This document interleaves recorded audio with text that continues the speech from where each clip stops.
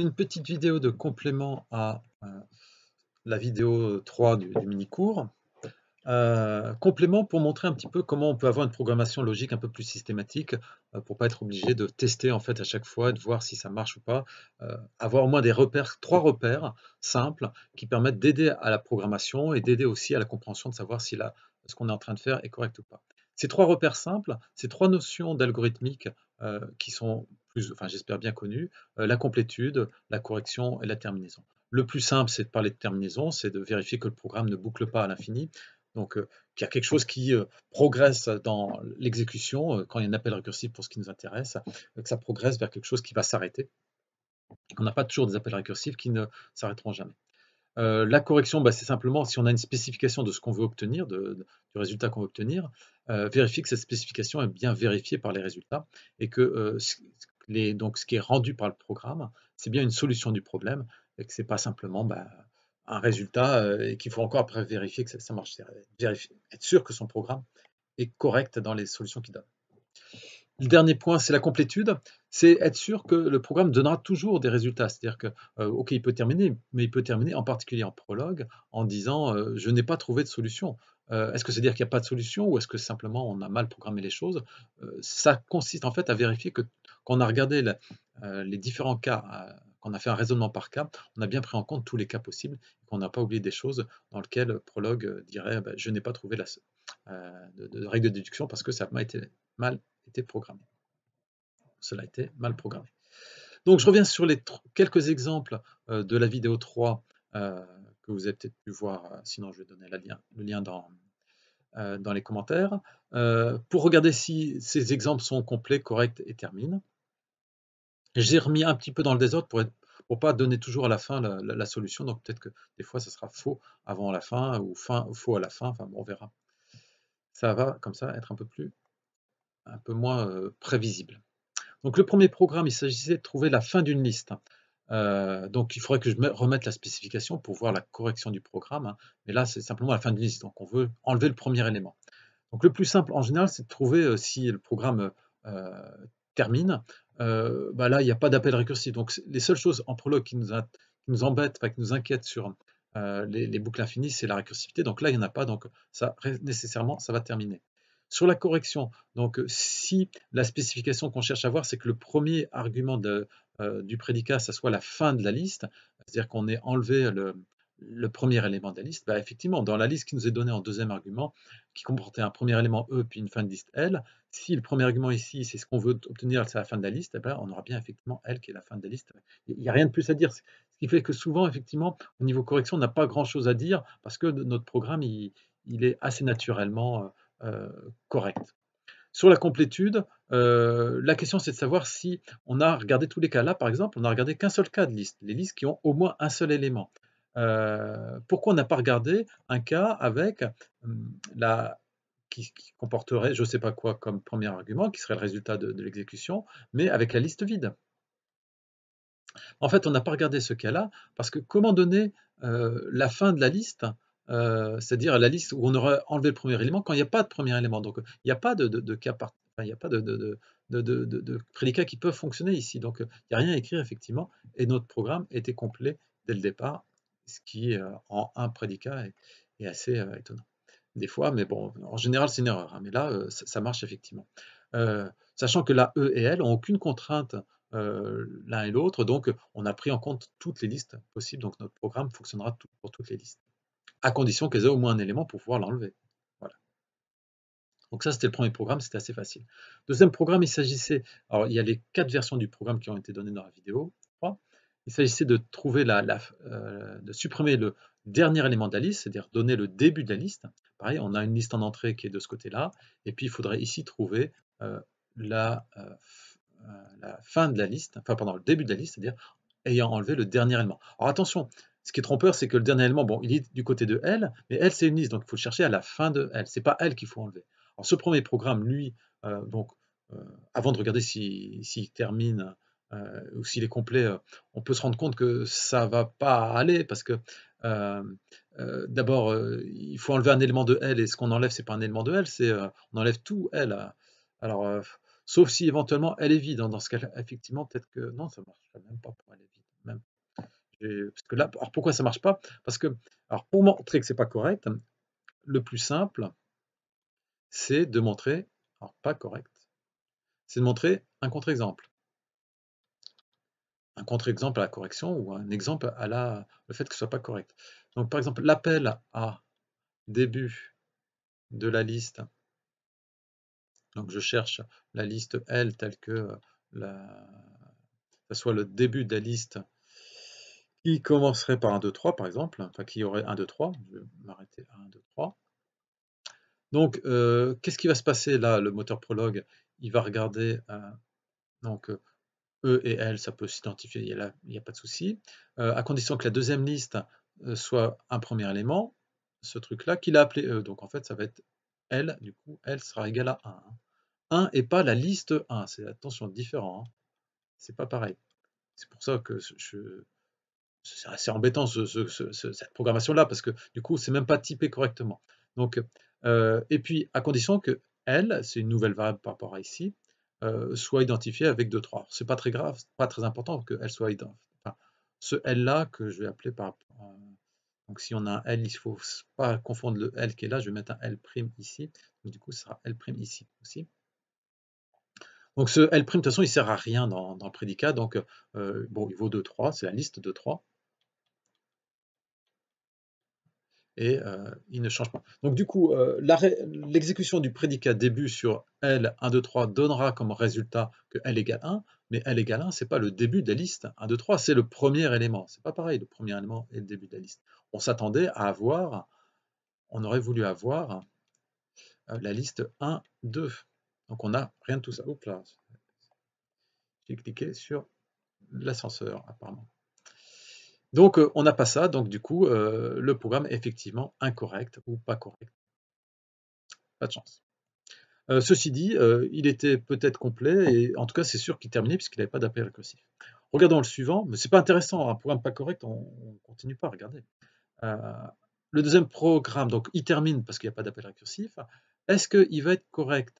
Alors, euh, donc, euh, on pourrait essayer de prendre le même exemple qu'ici. Hein. Euh, qu'est-ce qui va rendre en fait ici comme résultat? Il va rendre comme résultat donc E, donc ça, sera l'élément 1 par contre, et L, ça sera l'élément enfin la liste de 3, donc il va rendre le résultat de 3. De 3, c'est la fin de la liste, c'est l'exercice précédent.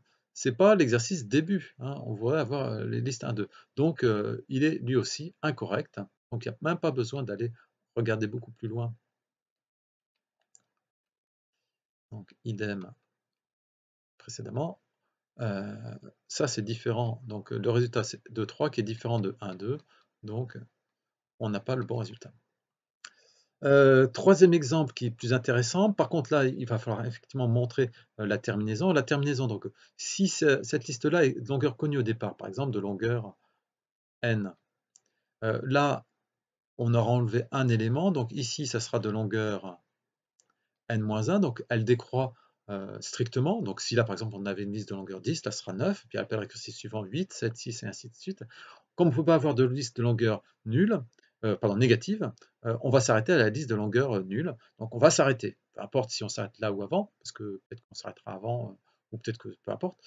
ça va s'arrêter. Donc ça, cet argument-là, que la longueur décroît n décroît strictement et part d'une valeur connue fixe euh, et va vers donc maximum jusqu'à 0 et borné par 0. peut atteindre 0 mais pas au-delà. Euh, ça, ça prouve que ça termine. Euh, est-ce que c'est correct? Alors, donc pour la correction, ce qui est intéressant, c'est de voir qu'on va étudier les choses cas par cas. En fait, la terminaison aussi, on ne regarde pas cas par cas. Précédemment, j'avais eu que des cas séparés, donc je m'en étais pas rendu compte, mais euh, ça va être beaucoup plus simple hein, d'étudier la correction et la terminaison parce que, comme on regarde que euh, cas par cas, euh, on n'a pas à avoir une vision d'ensemble. il y a moins de choses à regarder. On a plus de, de, cas peut-être à regarder, mais chaque cas est plus simple à regarder. Et ce qui est difficile, c'est de gérer l'ensemble des cas ensemble. Et ça, par contre, ça va être difficile peut-être au niveau de la complétude, mais ça tout à l'heure, parce qu'il faut regarder l'ensemble des cas pour savoir si l'ensemble des cas aboutit à quelque chose de complet. Donc sur la correction, euh, premier cas, est-ce que si on a une liste avec un élément et qu'on veut enlever le dernier élément, on obtient bien la liste vide? Bah oui, c'est le cas. Donc euh, ça c'est correct. Euh, OK pour la correction. Mais ce n'est pas suffisant, il faut que tous les règles soient correctes. Donc si ici on a une liste EL euh, auquel on veut enlever le dernier élément. Donc, et récursivement, on suppose, c'est le sens de ce, de ce symbole-là, qu'on va effectivement appeler récursivement, qu'on suppose que la récursivité suppose que ça a déjà marché, enfin que on va prouver quelque chose qui, est déjà juste au rang moins 1, donc de longueur n-1. Donc effectivement, R, c'est la liste L privée du dernier élément. Maintenant, dans ce cas-là, R, c'est donc L privé du dernier élément. On rajoute au début de R l'élément E, donc on a bien la liste EL sans le dernier élément, parce qu'il est, ni dans il n'est pas dans R, mais il était dans L. On a tous les autres éléments de, L qui sont là. Donc du coup, la liste ER, c'est effectivement toute la liste EL, sauf le dernier élément. Donc du coup, ça aussi c'est correct. L'ensemble des deux, ça montre que ça, ça va être correct. C'est pas suffisant, il faut montrer aussi la complétude. La complétude, c'est vérifier qu'on a bien regardé tous les cas possibles de liste euh, fournis en, deuxième paramètre. Alors en deuxième paramètre, on a regardé la liste à longueur 1, longueur 1 ou plus. On aurait peut-être pu, ce sera le dernier cas, regarder 2 ou plus. Bon, mais là, en tout cas, donc il y a peut-être un petit peu de redondance, c'est pas forcément très grave. Mais en tout cas, on n'a pas regardé la liste de longueur vide. Hein, euh, début de je ne sais pas quoi, avec la liste vide. Alors pourquoi on n'a pas regardé? Est-ce que c'est grave? Est-ce que ça rend les choses incomplètes? Ben, Là, dans le cas présent, ça ne rend pas les choses incomplètes parce qu'en fait, vouloir enlever euh, la fin le dernier élément d'une liste vide, ben, ça ne va pas être facile. C'est pas possible. Donc en fait, il n'y a pas de règle possible avec début euh, liste vide. Donc du coup, les seuls cas qui étaient possibles, c'était soit un élément, soit un élément ou plus. Et du coup, là, comme eux et elles n'ont pas de caractéristiques spéciales, on a pris en compte tous les cas possibles. Là, dans le dernier cas, euh, sur la correction, c'est le même truc. La, terminaison aussi la même chose, donc euh, je ne vais pas revenir. Sur la complétude, on a été un peu plus fin que dans le cas précédent, c'est-à-dire qu'on a regardé une liste avec au moins, donc là, un élément, là, deux ou plus. Longueur, c'est deux ou plus. Euh, on appelle récursivement sur la longueur moins 1 euh, donc ça c'est pour la, terminaison, donc ça marche bien. Euh, pour la correction, ben, on a enlevé le dernier élément de L, donc il est aussi enlevé là, pardon, dans R on a F et puis tous les éléments sauf le dernier de R. du coup là dans R on a, tout, on a F et tous les éléments sauf le dernier de L.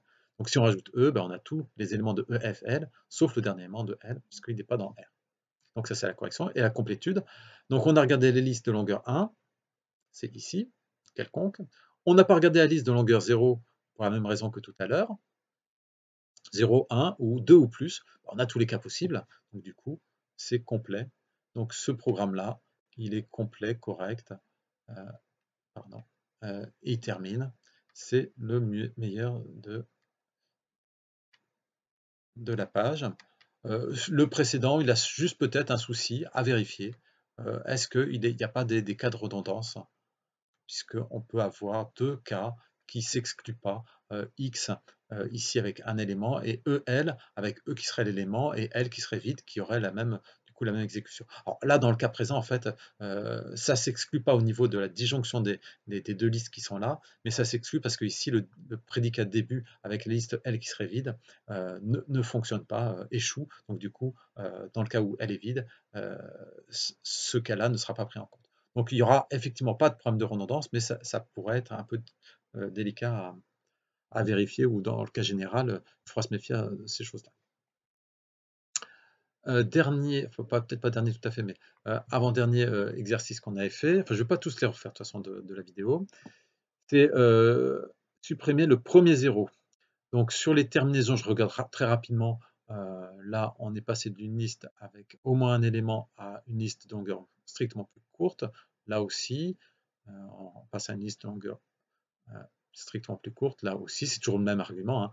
On passe d'une liste euh, qui, a priori, est donnée au départ euh, de taille connue à une liste de taille strictement euh, plus petite, et comme c'est de la longueur d'une liste, est forcément euh, positive ou nulle, donc elle est bornée, donc en faisant moins moins 1 à partir d'une longueur connue, forcément à un moment on s'arrête dans les appels récursifs, et puis dans les autres appels, il n'y a pas d'appel, donc il n'y a pas de boucle, qui, il n'y a pas de problème de terminaison. Donc tout ça termine, ça c'est évident, c'est clair. Euh, sur la correction, donc c'est là où il faut faire du boulot à chaque fois hein, pour regarder est-ce que ça c'est bien correct? Oui, quand on enlève le premier zéro de cette liste-là, on a bien ça. Quand on... Alors, euh, la correction ne dit pas que ça va, ça va être complètement juste, hein, mais en tout cas, euh, s'il y a un résultat dans cette liste-là, donc E, E, donc on suppose qu'il va être différent de 0, on va, donc du coup, on peut le laisser ici, il est différent de 0. On va supprimer le, donc du coup, c'est pas lui qu'il faut enlever, donc on va supprimer le premier 0 de L pour obtenir T, donc T, ce sera la liste L sans le premier 0, donc ça devrait être correct s'il y a un résultat. Ici, pareil, essentiellement. Alors, euh, il y a des petites différences là-haut, mais euh, là-haut, on a enlevé le 0 au bon endroit, donc c'est bon. Là, on a enlevé le 0 au bon endroit, donc c'est bon aussi. Là, on a enlevé le 0, le premier 0 qu'on trouve, enfin, localement en tout cas, c'est le premier 0 qui, est visible, donc ça marche aussi. Là, c'est la même règle. Euh, là, par contre, on n'a pas enlevé le premier 0, donc cette règle-là, elle est incorrecte. Et du coup, cette règle-là étant incorrecte, et bien, et, là, si on veut donner un exemple, bah, c'est 100 premiers zéros de, x et de vide, pardon, et de 0. On voudrait obtenir comme résultat la liste vide. Or, ce qu'on va obtenir, ça va être euh, x égale liste 0 d'après cette règle-là. Bon, elle donnera aussi le résultat liste vide avec la deuxième règle. En tout cas, elle donnera ça. Et donc, ça c'est faux. Donne ça au lieu de... Donc, elle donne une fois le résultat juste, une fois le résultat faux, mais euh, comme on ne veut pas de résultat faux, euh, c'est globalement incorrect. Donc, on a la terminaison pour les trois, euh, trois premiers programmes, on a la correction pour les trois premiers programmes, il reste à savoir si c'est complet. la complétude, donc là on a regardé les listes, la liste 0, c'est-à-dire la liste de longueur 1 qui comporte un 0, et puis la liste ici de longueur 1 ou plus, mais dans le premier élément est différent de 0. Hein, c'est ce qui est écrit ici. E est différent de 0. Du coup, euh, il faut se poser la question, qu'est-ce qui se passe euh, pour liste de longueur ah, ça longueur euh, ce qu'on n'a pas, c'est la liste de longueur vide, 0, pardon, la, liste vide de longueur 0.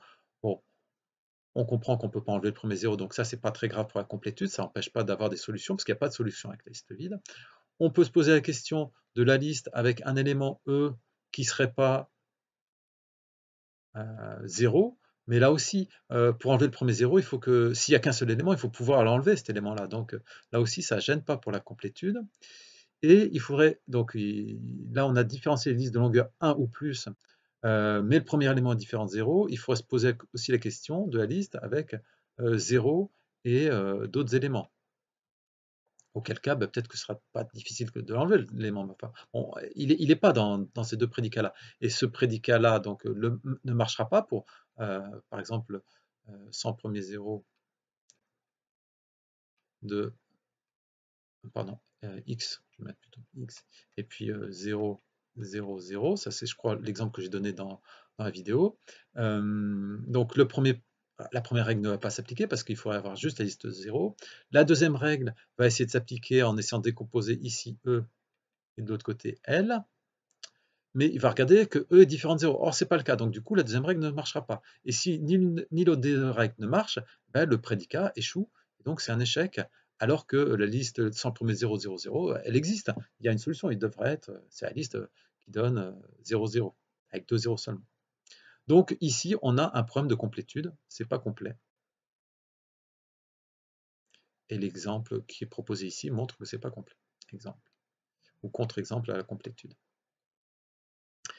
Ici, qu'est-ce qu'on a changé? Euh, On a changé bah, justement, euh, euh, on n'a pas regardé que la liste 0, mais 0 ou autre chose à la place. Donc 0, donc c'est longueur supérieure ou égale à 1. Donc du coup, on n'a plus besoin de, ce cas-là, euh, probablement parce qu'on a soit les listes de longueur 1 ou plus, et à partir de 1 ça marche, en dessous on ne peut pas, euh, et 1 avec 0 ou 1 sans 0. Donc ça, ça va être euh, a priori bon pour le service, puisque c'est, comme j'ai dit précédemment, complet et correct, pardon, correct terminé, ça, et que maintenant ça rajoute la complétude. Dernier cas ici, donc ça regarde la liste 0, je vais réécrire, Euh, la disjonction de cas, donc 0 ou plus de choses. Alors là, il y a un peu de redondance. Est-ce que c'est grave ou est-ce que c'est pas grave? Donc du coup, c'est les listes de longueur supérieure ou égale à 1 avec premier élément à 0. Avec redondance, parce que ici, si on a L égale vide, ben, on a le premier cas. Et puis le dernier cas, euh, donc ça c'est les listes avec un élément ou plus, donc longueur supérieure à 1, et premier élément par contre différent de 0.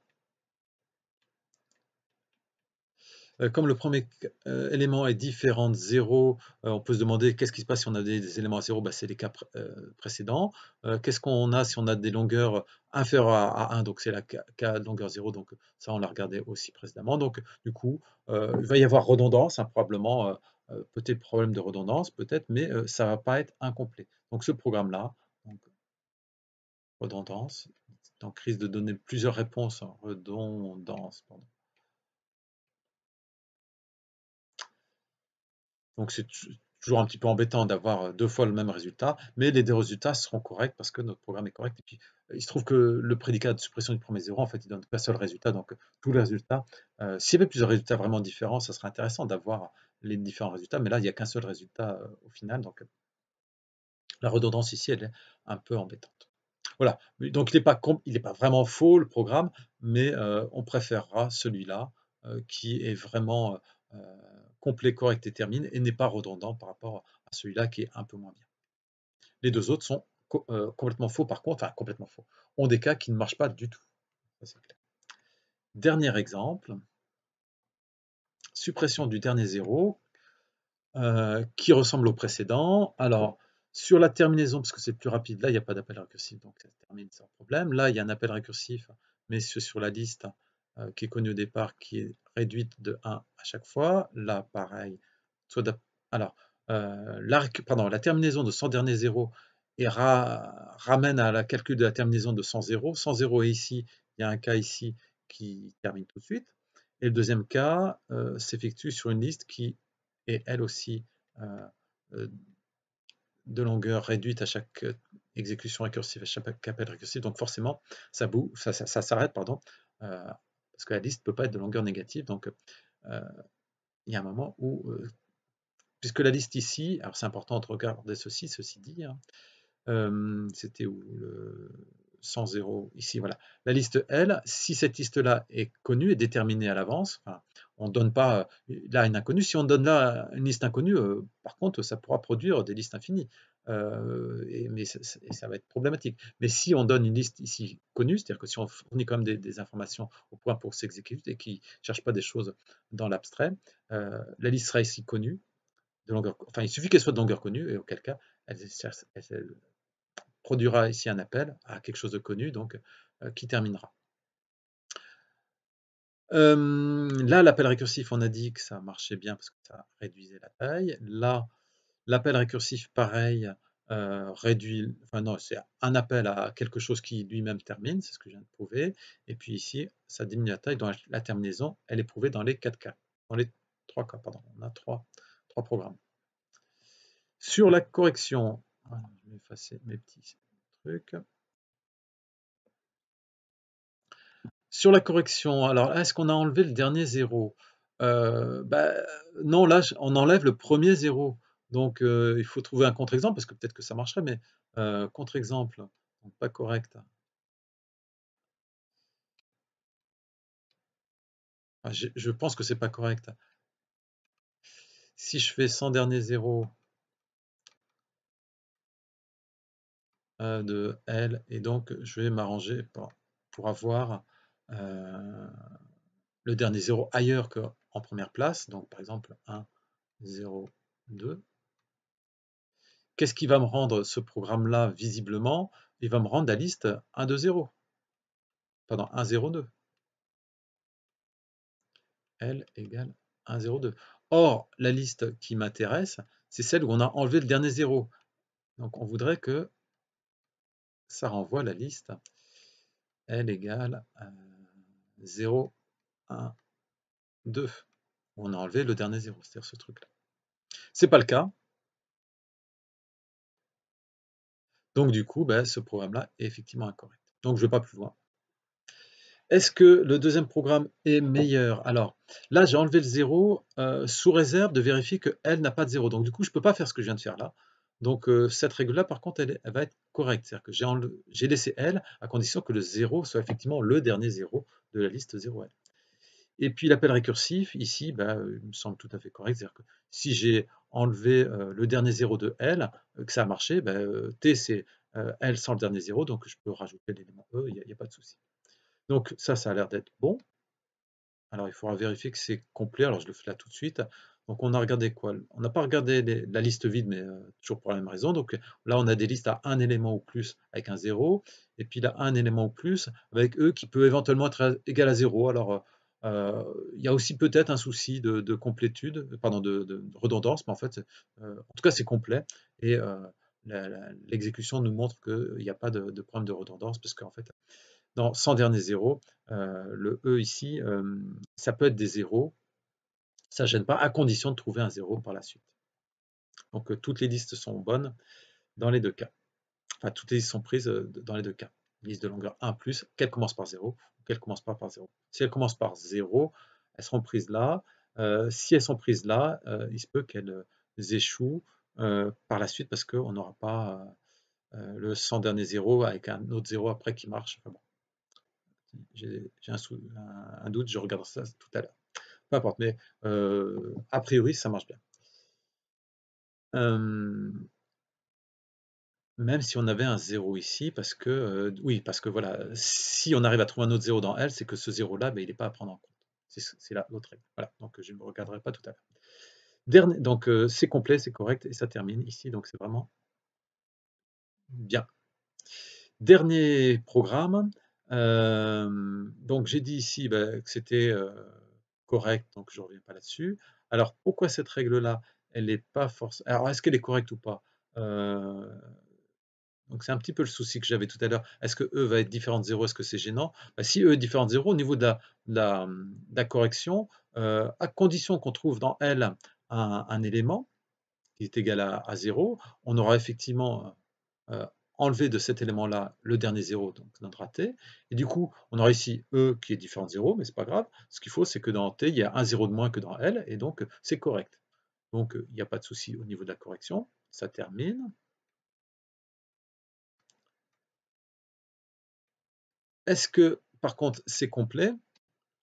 Alors, ça a l'air complet, parce que là, c'est soit avec un élément 0, soit un élément qui est différent de 0. Le problème, c'est que euh, si c'est avec un élément ici qui est euh, différent de 0, comme c'est indiqué là, euh, il faut, alors, donc, soit c'est donc la liste 0L, donc longueur supérieure égale à 1, soit liste EL de longueur aussi supérieure égale à 1, et E, cette fois différent de 0. Et euh, donc ça a l'air complet, mais en fait ça ne l'est pas, parce qu'il y a aussi une condition pour que ça marche bien, c'est que L comporte un 0 pour que ce prédicat-là fonctionne. Or, est-ce qu'on a une garantie que L euh, comporte euh, un 0 Si L ne comporte pas un 0, euh, bah, c'est ce zéro-là qu'il fallait enlever. Alors ce zéro-là, en fait, il aura été enlevé. Euh, c'est-à-dire que si elle ne comporte pas de zéro, euh, on aura trouvé au cas précédent, enfin dans, l'exécution parallèle, là, on aura trouvé que elle est sans zéro, donc il ne faut pas exécuter l'autre règle. c'est cette règle-là qui fonctionne bien. Donc, du coup, si on avait, euh, bah, c'est le même exemple que, là-haut, du coup, contre-exemple pour montrer que c'est n'est pas complet. Si on avait euh, la liste 0, 1, 0, 2, pour montrer que c'est complet ou pas complet, euh, le premier 0, la règle va pas s'appliquer parce que la fin de la liste n'est pas complète, n'est pas sans 0, il y a un 0 qui arrive là. Donc on va essayer avec la deuxième règle. Et là, il va essayer de regarder donc avec 0, 1, 2 vérifier que 0 est différent de 0, ce qui n'est pas le cas, donc il ne va pas appliquer. Et du coup, il va dire, bah, là, je n'ai pas de solution. Le sans 0, sans dernier 0, c'est très mal écrit, excusez-moi, euh, de L et de 0, 1, 0, 2, va me dire, j'ai pas de solution. Alors que, ben si, il y avait un, il y avait un... Donc il faut prendre en compte aussi les, listes euh, qui, euh, soit ont un 0 à la fin ici, soit le E ici, c'est le dernier 0. Et donc ça, c'est la première règle. Donc en fait, il faut faire sauter ce truc-là qui empêche d'être complet. Il faudrait que j'ai aussi une règle qui, en fait, prenne en compte le cas où on a 0 ici, et aussi, donc il faut qu'il y ait un 0 ici, et des 0 dans la fin de la liste. Alors, euh, c'est un peu dommage parce que cette règle-là, qu'un 0 et puis des 0 à la fin de la liste, euh, ça ressemble à enlever les, zéros dans la fin de la liste. Donc c'est une règle enfin, qui, s'écrit sans trop de difficulté, hein, sans dernier 0. On va voir ce que ça donne. Donc probablement quelque chose comme ça. D'ailleurs le 0 ici ça va être euh, T. donc j'ai remplacé le, E qui est là par, par un 0. Hein, donc 0L. Donc du coup, je prends le cas où on a comme premier élément aussi un 0. Ce qui va différencier de ce cas-là, c'est qu'ici, on a en plus L qui est sans 0. Hein. C'est ce qu'on a euh, montré enfin, euh, dans le prédicat là. Les deux choses-là qui est pour le premier cas. Et là, euh, pour qu'il y ait un 0 dans L, pour que ça marche, donc, et qu'on puisse passer le 0, le, mettre, il faudra l'enlever. Donc, il faudra appeler sans dernier 0 donc de T et de L. Et ça, ça marchera pour donc des listes euh, qui commencent par 0 suivi de L, avec L qui comporte un 0. Donc on va avoir trois cas. Euh, je crois que dans le programme, j'avais plutôt proposé une solution avec deux cas, et les deux là. Pourquoi? Euh, Donc soit on a trois cas avec cette règle-là qui est supplémentaire, euh, soit on enlève le diff, parce que quand on enlève le diff, qu'est-ce qui se passe? Ben, Comme E est différent de 0, ben, E peut être soit égal à 0, euh, soit différent de 0. Si c'est différent de 0, ben, on peut mettre E quelconque. Euh, donc c'est la règle où on a enlevé le différent de 0. Et soit c'est égal à 0, en fait le différent de 0 il sert à rien, puisque quand on a 0, on, doit faire aussi un appel récursif à 100 dernier 0 et en recopiant l'élément E ici. Donc du coup, c'est vraiment ce, diff-là. soit on rajoute une troisième règle pour être complet, euh, soit on enlève ça, euh, et du coup on obtient aussi la complétude, hein, c'est le, cas de précédent. Donc dans un cas comme dans l'autre, euh, le programme, le dernier programme de toute façon est faux, parce qu'il était incomplet, mais il y avait moyen de deux façons de s'en sortir pour essayer d'obtenir un programme complet. Le plus simple, c'est peut-être d'enlever le diff qui ne sert à rien, parce que si on le met, il faut aussi rajouter une règle où on n'est pas diff, et du coup, bah, soit on est diff, soit on n'est pas diff, hein, l'un ou l'autre, on est forcément l'un des deux, donc du coup, euh, il n'y a aucune contrainte sur l'élément E, et ça s'appelle, ça fait un appel récursif ATL. Voilà, mais ce n'était pas dans la vidéo 3, c'est pas très. Voilà, fin de l'analyse des trois programmes supplémentaires. Euh, des quatre programmes, pardon, avec euh, ces éléments qui permettent de voir comment on programme les choses. Éventuellement, là, je n'ai pas montré vraiment comment ils étaient utiles pour éventuellement euh, programmer, c'est-à-dire qu'on a une idée euh, plus ou moins floue, euh, s'assurer que c'est complet, que c'est correct, que ça, termine, ça nous permet de décrire vraiment les, programmes. Là, j'ai simplement montré que ça nous permet de vérifier que les programmes marchent, mais ça nous permet aussi, au moment de l'écriture, d'avoir des idées sur comment il faut faire les choses. Voilà, je m'arrête là. Bonne journée.